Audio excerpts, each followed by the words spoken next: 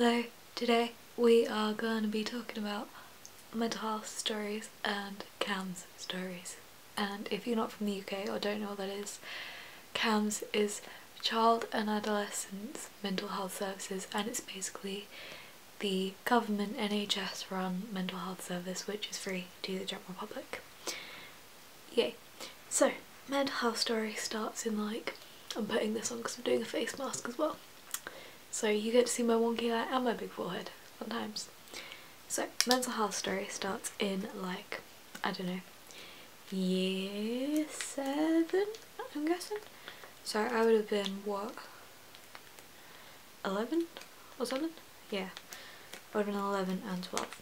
And basically mental health is just a bit shit and I'm not going to go into the details of what, where, why, when, who, how, etc.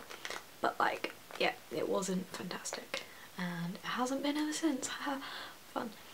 But, oh, and this is mint choc chip. So, I basically didn't do anything about poor mental health for a very, very, very long time. And so, wait, I'm gonna grab another mirror. One sec. Also, this smells so good. I'm gonna cry. So, putting a mirror in front of the viewfinder so I can't see where I'm looking or what I'm doing. No, that doesn't work. But let's look at the mirror. Yeah. So, basically, mental health story uh, started then, and I didn't do anything about the mental health stuff for a very long time. Like, I don't know, two years I want to say? Like a year and a half, two years. And I basically told one of my teachers about my struggles and what was happening and yeah she basically was like you're gonna be okay. And it was really nice and comforting because she was the only person who had ever been like hey Maisie are you okay? And she hadn't seen me in like a year because she was on maternity leave and to this day she's still one of my favourite people in the world and I'm literally moving schools for sixth form to study at the same school as her so she can teach me because yeah she's a fantastic teacher as well as a nice person. How great's that? So um yeah so she's like you alright? And I was like nah not really mate. Not doing so great. And she basically helped me to tell parents about what's happening and how my mental health was a pile of shit. And that was really nice of her. And from then not much happened then. That was in the June. And then that would have been in the June of year 8 so I would have been how would I have been? 13 or 14 um, no, yeah, 8, 10, 12, yeah, I would have been 13 and so not much happened then until like the Christmas when I was like lol my anxiety's getting hella bad and I can't really function so my mum's like let's go to the doctors. And this was the day before my 14th birthday so that would have been January 6th 25th no. Yeah in 2015 and um basically I was seeing counsellor in school at this point and went to the doctors and my doctor was like uh lol go read some textbooks from the library about anxiety and self-help guides. And I was like thanks for nothing mate. That's really gonna help me with not feeling great at all. And so that happened. And then we went back to the doctor saw a different doctor and she was like we'll put you onto CAMHS. and I was like I don't know what that is but fine. Yeah that sounds good. So got put into CAMHS waiting list which like wasn't too long at that point. It was only like six months I think then. So oh no what month's? May. January February March April. Yeah would have been five months because I started stuff in the May. And oh no it would have been like late April so like four months which was alright. And I went to like a group self-help session and that was quite helpful like the people that were there were really really lovely. And I think that it would have helped a lot more had I not met certain people that went because in the long run they kind of messed my mental up really really badly because yeah but fun. So uh, that happened and then after that they were like okay anyone who doesn't already have a therapist will be given one. And I was like okay decent nice. And my therapist is called George and she was absolutely lovely. She was like the most queer person I've met in my life and it was absolutely fantastic and I loved it and we made jokes and she helped me a lot and she was actually so so wonderful. But she was like a locum doctor. So she travelled down from London literally every Monday away from her wife and kids to treat people like oneself. And so I stayed with her from like I don't know September 2015 to like August 2016 when I got my new therapist. And ah that was fun. So uh, my old therapist George got me tested for like a lot of different things all of which came back like negative because I don't really like talking to people about my problems so it's hard for them to diagnose me with accurate things so but she like believed what I said which is very important for a therapist to believe what your patient is saying and not like doubt them and make them feel belittled and like what they're going through is fine, it's nothing, everyone goes through it. Or like they're not as sick as they feel they are, that they are. So my new therapist, uh, I'm not gonna do names for this because I'm not gonna be like fantastic.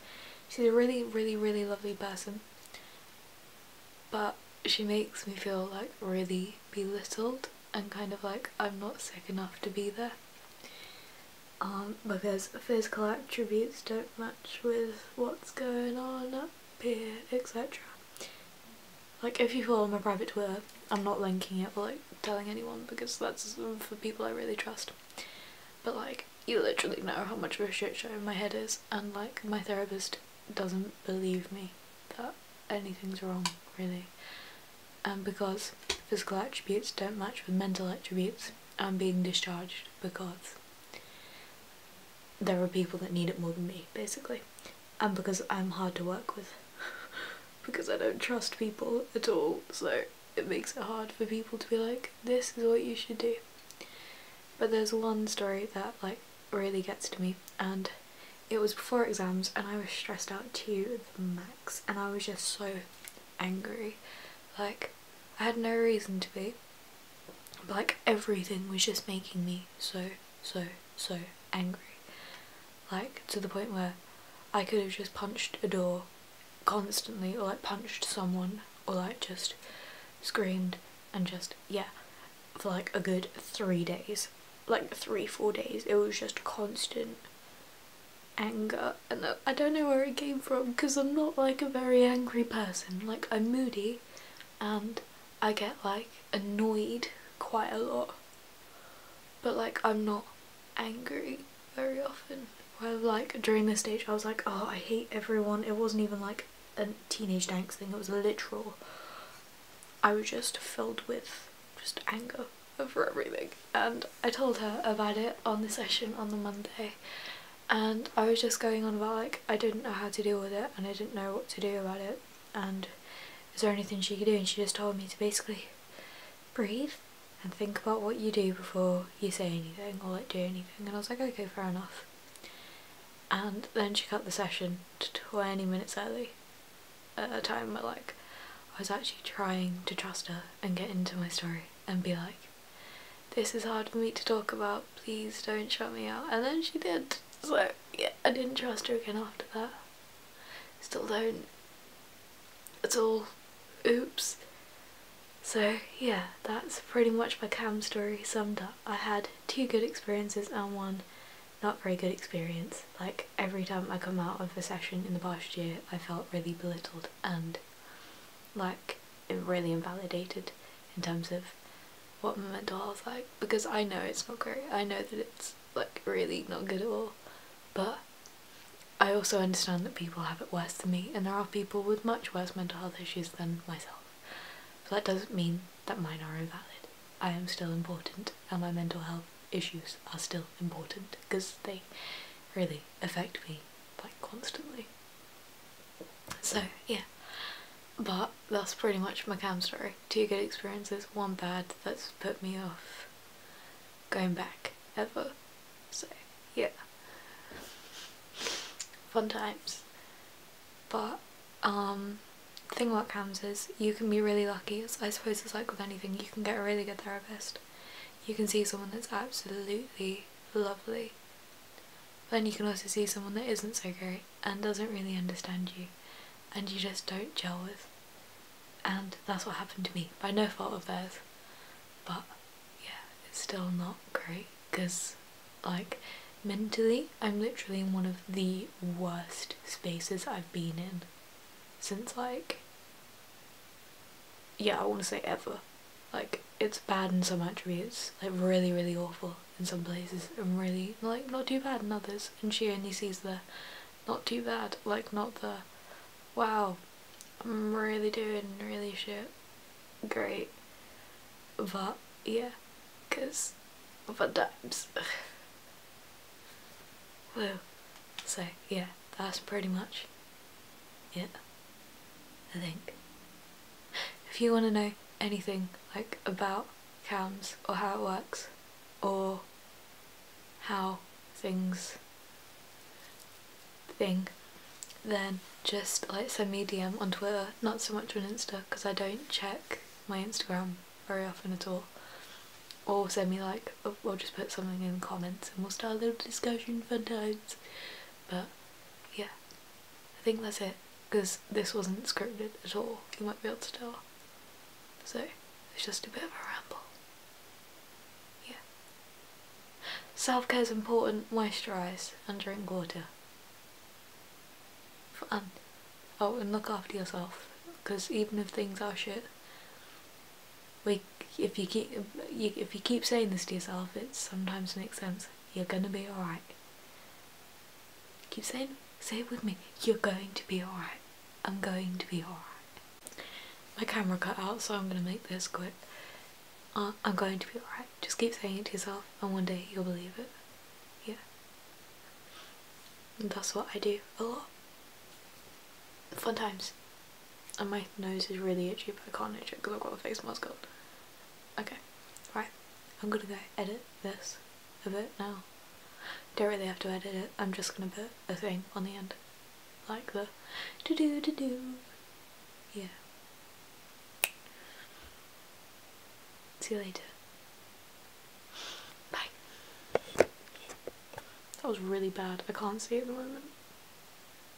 Bye. So I just remembered that I changed my name and I don't have an outro, so here's my couple shots of lightning while I say goodbye, goodbye.